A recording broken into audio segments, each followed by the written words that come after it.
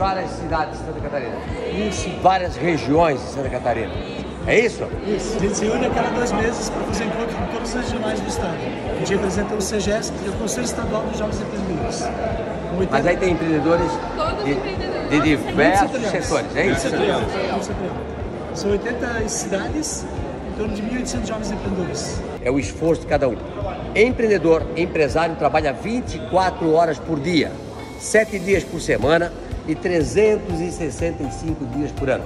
Esse negócio de empresário ter horário para trabalhar não é empresário. Né?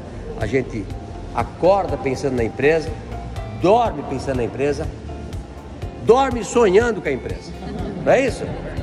Esse é o empresário que dá certo.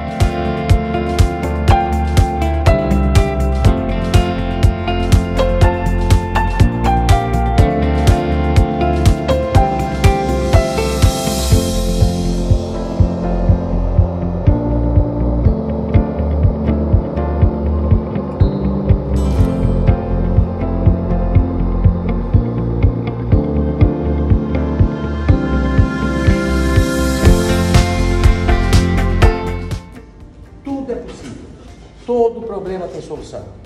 Não reclame.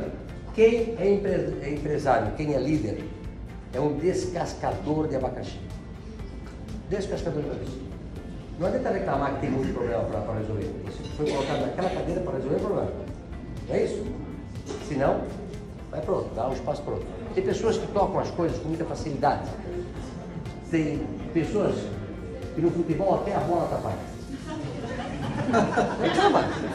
A bola atrapalha, entendeu? É porque ele joga mal. Não é isso?